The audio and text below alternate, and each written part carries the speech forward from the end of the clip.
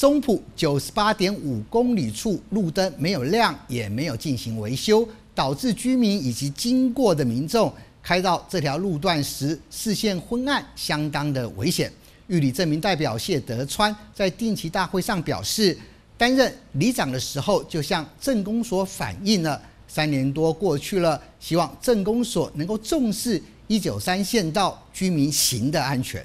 松浦九八点五 K 处路灯没有亮，也没有进行维修，导致居民以及经过的民众开这条路时视线昏暗，相当危险。玉里镇民代表谢德川在定期大会上表示，玉里镇民代表谢德川在定期大会上表示，担任里长时期有向公所反映，三年多过去了，希望公所能够重视一九三县道居民行的安全。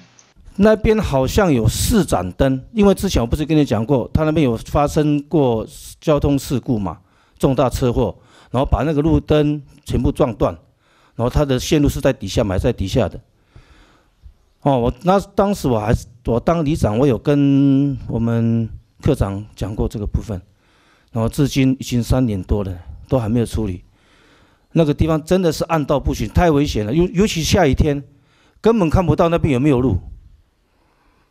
那个要怎么怎么怎么那个？公所回复，那条路是一积水路段，导致地下电路无法正常运作。有到现场拉明线，四盏灯有三盏灯是亮，唯独就是转弯处更需要照明的无法亮。现阶段会再改路线。我们会再改改路线，是改到路的对面去，因为其实路的这一边呢，它又是转弯了哈，它又被那个路树遮住了。那我们是不是改改设置在对面？然后对面它是新旧路插入那一边，那边，那让那边的那个刚好那边也没有那么那个那么像那么高的路数去阻挡它，